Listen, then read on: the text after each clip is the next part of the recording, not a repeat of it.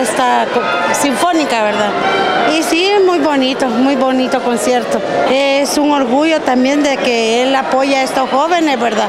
Porque no cualquier alcalde los apoya y, este, y eso hace que los jóvenes se sientan, eh, que vayan en buen paso, en buen camino para el futuro, ¿verdad? Es una forma de mantener a los niños y a los jóvenes eh, dentro de un espacio seguro y que les va a dar mucha fortaleza mental y un nuevo desarrollo para las comunidades y, las, y los, las ciudades también. La música es un arte que no se debe perder.